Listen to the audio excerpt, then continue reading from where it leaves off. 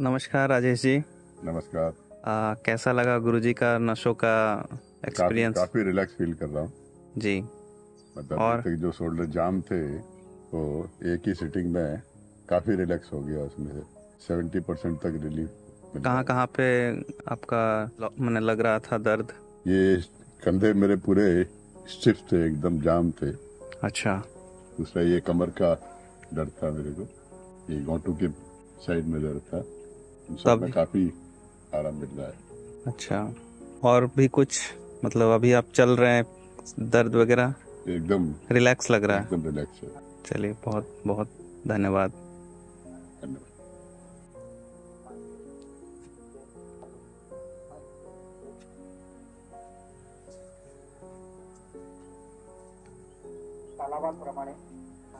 और ऊपर देखो 45 डिग्री ऊपर देखते पूरा पेट लूज हो गया। एक नस सिर्फ़ बचा है यहाँ वाला। है ना? हाँ।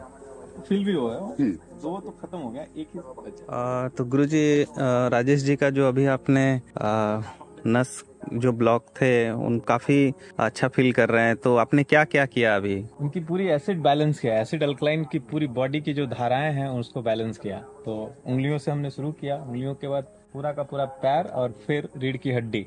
रीढ़ की अच्छा। हड्डी पे सारे पॉइंट जो एसिड ब्लॉकर्स हैं उन Okay. सारे एसिड ब्लॉकर्स को रिलीज़ किया। तो सबसे ज़्यादा पेन कौन कौन से पॉइंट्स पे सबसे ज़्यादा पेन थे आपको?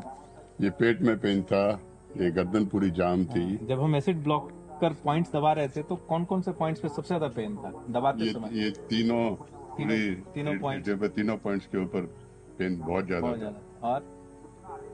और ये घोटू में पेन था। हाँ, उंगलियों का? पैर की उंगलियों को में तो मतलब ऐसा लगा कोई करंट लग रहा है। अच्छा। लेकिन अब एकदम रिलीफ लग रहा है उससे। हमने उतना ही किया। जितने एसिड पॉइंट है एसिड ब्लॉकर्स हैं मोस्टली पैर की तीन उंगलियाँ हैं रीढ़ की हड्डी में भी तीन पॉइंट्स हैं और पैर में एक पॉइंट है घुटने के पास। जी। जो मेजर है जो होल्डर है जो ब्लॉकर है तो उसको हमने थोड़ा सा पुश किया है। तो थोड़ी रिलीफ मिल रही है कितना टेम्परेरी रहेगा हमें तो पता नहीं। अगर वो समतल में आ गया तो उनका रिलैक्सेशन बहुत आराम हो जाएगा। जी जी। चलिए कंटिन्यू